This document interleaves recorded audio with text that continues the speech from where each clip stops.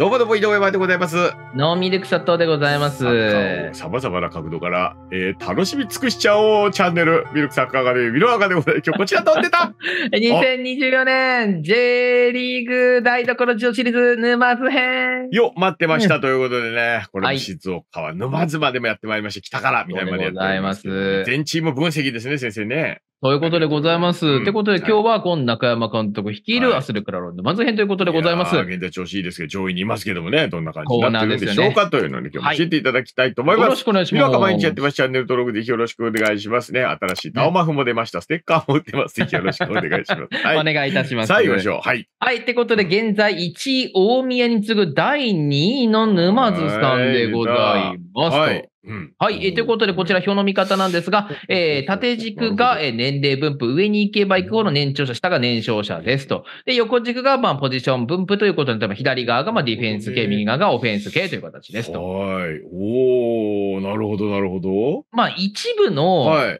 方々が、ちょっと一人だけスーパー年長者いますけど。伊藤さんね。レジェンダリーでいます。そうなんですよね。これだってもっと上なわけでしょ？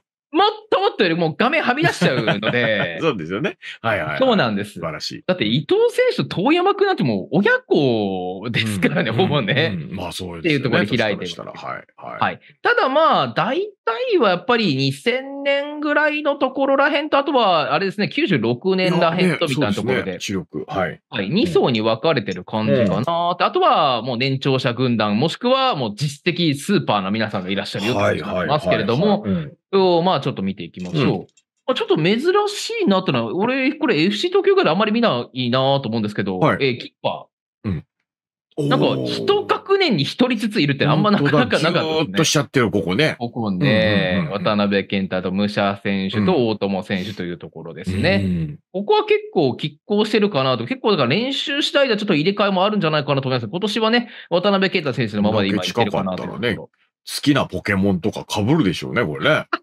世代的に。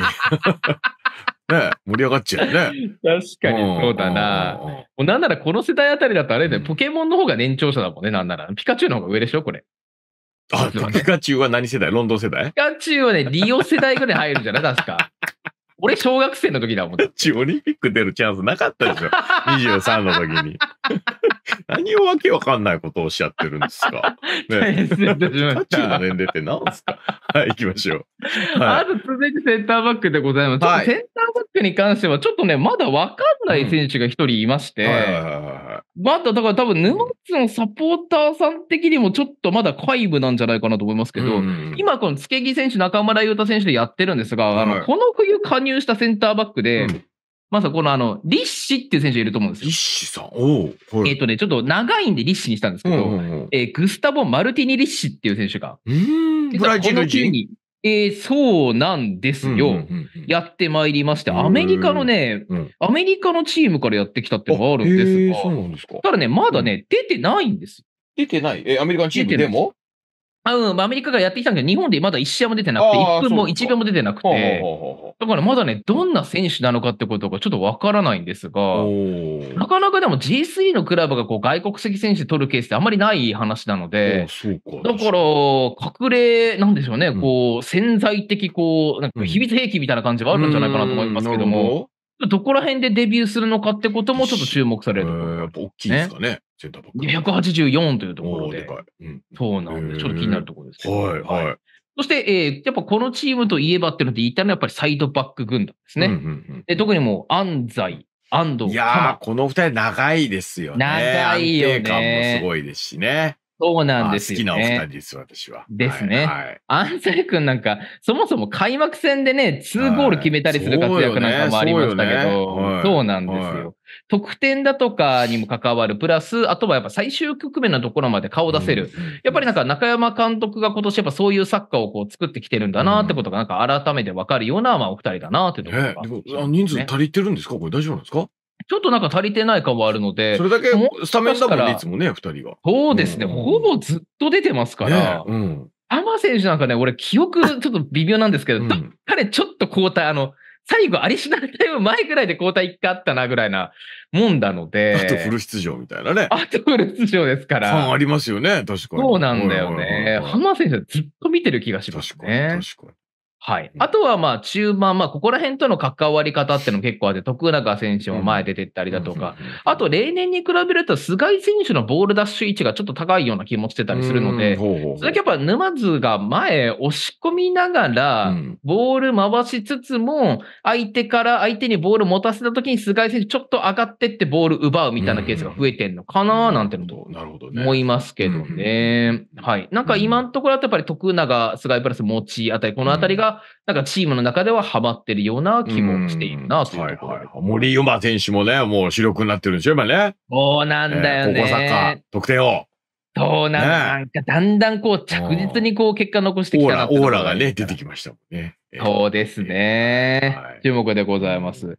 そして、あとは前線の方も見ていこうかなというところですけど、この間はね、え富山相手に鈴木健志郎選手が得点を決めるなんてこともありましたけども、はいまあ今はやっぱりここら辺じゃないかってので、やっぱり津久井匠選手だとかもそうですし、はあとはやっぱ沼は中山監督のまあ薫陶を受けているのはこの男じゃないですか、和田はぐみ。い。和田はぐ、はぐむでしょ？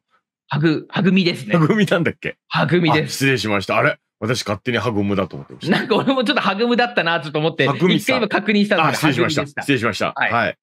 そうなんですよこれで覚えましたね。。これあの、和田選手、あの、4月？うん。とんでもなかったですよね。うんあの、5点、4月の6日、10日あたりで2点、2点決めて、下旬にも1点決めてみたいなところうんなるで、ほど。すでにもう8得点決めてま決めてますから、うんもう6月中にも2桁得点はまあ、間違いなし。